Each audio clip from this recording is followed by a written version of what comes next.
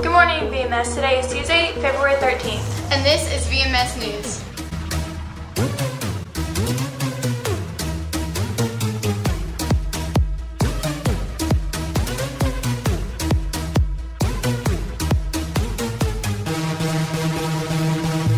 Good morning, I'm Mackenzie. And I'm Amaris, and here's the news for today.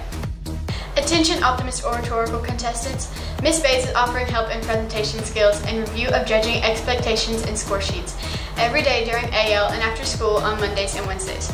The last three local, regional, and district winners have worked with Miss Bates. Over 60% of the judging criteria is based on presentation.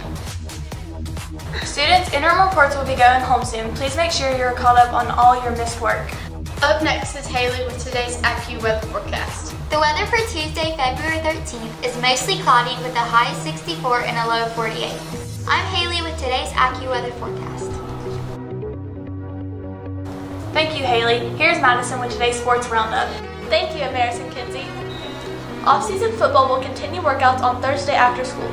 Contact Coach Christian for the exact meeting. Make sure your ride is here by 4. The workouts take place on Mondays and Thursdays. Track workouts are today as well. They will be held on the Vance campus from 2.45 to 3.45. Track sign-up sheets are located outside of the office and by Coach Manahan's room. That's all for the sports roundup. Back to you, Amaris and Kenzie. Thank you, Madison. Up next is Jenna with today's special report. Thank you, Amaris and Mackenzie.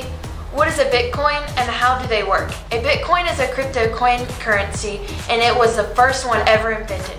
Some are worth a lot while others are not. If you have a Bitcoin, you can either buy things online or you can save the Bitcoin to see if the value increases. Currently, Bitcoins are not used in the US, but they might be in the future. I'm Jenna with today's special report. Here's Jackson with today's birthdays. Celebrating a birthday today is Aaron Charette, Desiree Hudson, and Kenley Leonard. Happy birthday! Well, VMS, that's all for today. I'm Amaris. And I'm Mackenzie.